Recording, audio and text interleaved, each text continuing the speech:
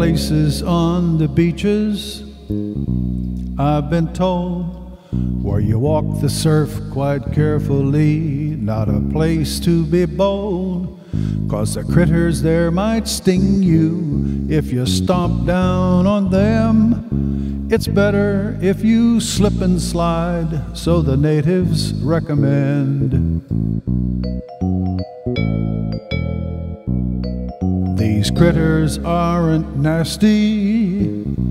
I've been told they won't bother you at all if you're cautious how you stroll. They're really kind of pretty, swimming graceful in their way, but they sure hate being stepped on by intruders in their space.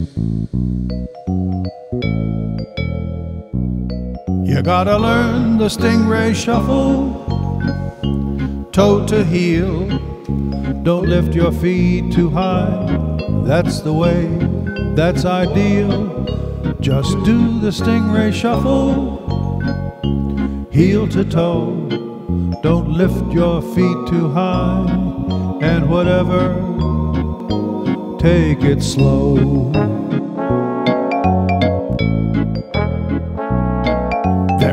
Places on the land I have seen where you see this kind of walking, kind of shuffling in extreme.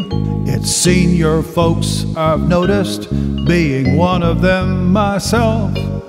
We shuffle cause our feet are sore and our legs are shot to hell.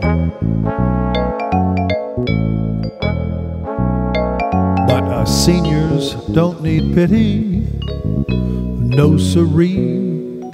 We found a slower tempo and it suits us to a T. We've learned we always get there wherever we want to be if we take our time and slip and slide and enjoy the scenery. So we do the stingray shuffle, toe to heel. Don't lift our feet too high, keep our balance, that's ideal.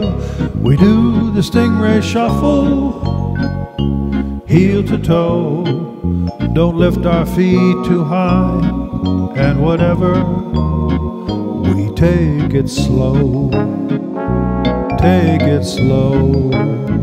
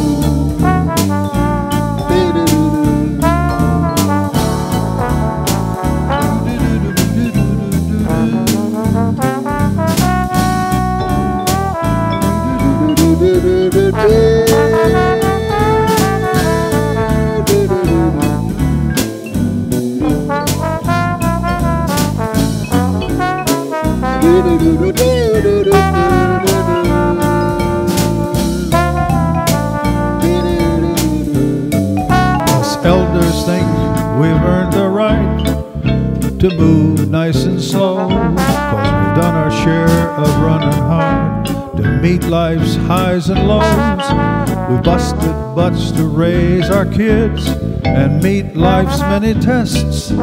So shuffling may be a small reward we get for doing our best.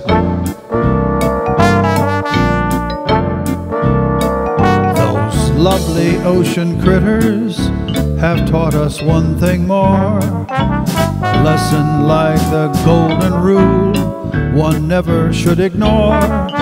It's stepping on each other that stings us, everyone. The stinger and the stingy both get hurt when the stinging's done. You gotta learn the stingray shuffle, toe to heel. Don't lift your feet too high, that's the way, that's ideal. Just do the stingray shuffle, heel to toe. Don't lift your feet too high,